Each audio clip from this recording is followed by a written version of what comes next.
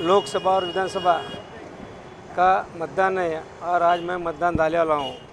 मैं सब नांदेड़ के दक्षिण मतदार संघ को बोलता हूँ, ये मतदान सबका हक है और यह हक से कोई, यह हक कोई नहीं छोड़ना चाहिए। ये हक छोड़ना, करना बोले तो ये देश की निशानी है।